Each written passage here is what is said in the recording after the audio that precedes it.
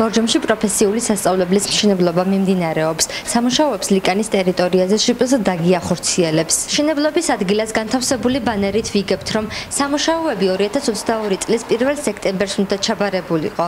თუმცა როგორც კომპანიის წარმომადგენლები ჩვენთან საუბრისას ამბობენ, ადგილზე საჭირო გახდა სადემონტაჟო სამუშაოების ჩატარება. მშენებლობის პროცესს ხელი კლიმატურმა პირობებმაც შეუშალა.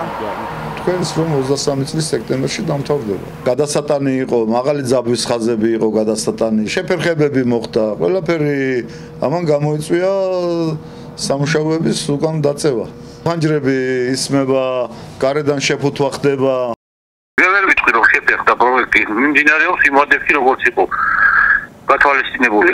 შეფერხება ერთი ჰქონდა რომ ტერიტორიაზე დაგვდა დასადემონტაჟებელი შენობების ნარჩენები და ამის სამართლებრივი გზა სანამ მოინახა პატარა შეფერხებას დავალოთ რომ ეს იყო. ახლა მიმდინარეობს მობილკეთების სამუშაოები პირველ ფლიგელზე სრულიად დასრულებულია.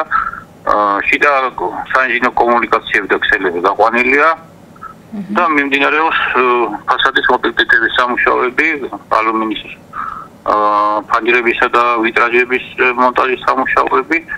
და როგორც კი ეს ყინვიანი პერიოდი ჩაივლის, ვიწყებთ შიდა ლესვით სამუშაოებს. პროექტის ჩაბარების ვადათ წლის ბოლო გვაქვს დასაწყლული. შენობა 200-ზე მეტ სტუდენტზეა გათვლილი. პროფესიული კოლეჯის მშენებლობას საგანმანათლებლო და სამეცნიერო ინფრასტრუქტურის განვითარების სააგენტო ახორციელებს. პროექტის ღირებულება 10 მილიონამდე ლარია.